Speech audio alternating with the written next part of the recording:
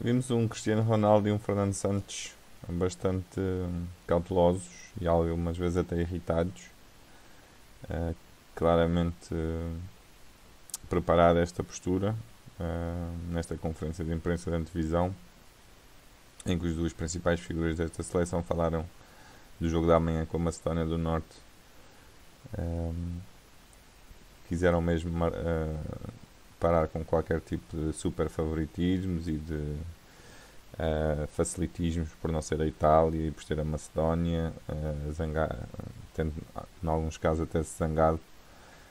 Um, muita mensagem de que se é o jogo da vida da Macedónia do Norte e provavelmente um dos maiores jogos da história daquela seleção. Uh, os dois disseram que para a equipa de Portugal também é o jogo das, das vidas, das nossas vidas. Uh, Fernando Santos disse que por isso mesmo tem que tentar igualar tudo aquilo que vai ser a entrega, a determinação, a agressividade, o espírito de sacrifício e a vontade da Macedónia do Norte. Uh, Parece-me uma boa receita. Uh, Cristiano Ronaldo pediu três vezes o apoio do público, deu a ideia de, do hino ser cantado sem música,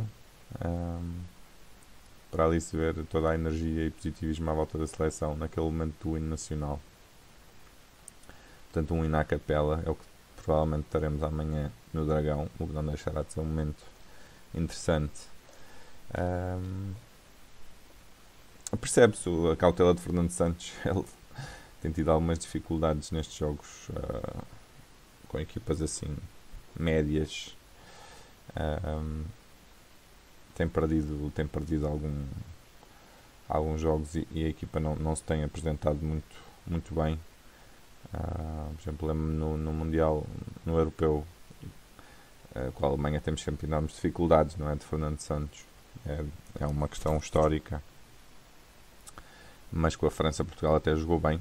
Uh, e, e depois com a Bélgica, não, nem tanto. E obviamente, a Bélgica é uma seleção alta no ranking, mas obviamente com a Sérvia e, e com outras equipas que que não tem corrido bem e por isso uh, Fernando Santos sabe que a Macedónia pode, pode realmente ser um matchup muito difícil para Portugal. Um, uma equipa que não tem individualidades, tirando o, o rapaz do, uh, do, do Nápoles, que, que Fernando Santos uh, mencionou, mas uma equipa que vai jogar muito como uh, coesa, em bloco, a dar tudo em campo, algo que Portugal não tem conseguido fazer sempre. Uh, muitas vezes tentando jogar para Cristiano Ronaldo e ele resolver os problemas. Um, tenho visto algumas análises interessantes da, da, Macedónia que realmente um dos pontos fracos é a construção de trás. Portugal tem que tentar uh, dar-lhes alguma iniciativa para ver se eles fazem erros atrás. Poderá ser um dos pontos fracos dessa seleção. A construção atrás não, não tem jogadores com boa qualidade de passe e podem entregar bolas em posições perigosas a Portugal.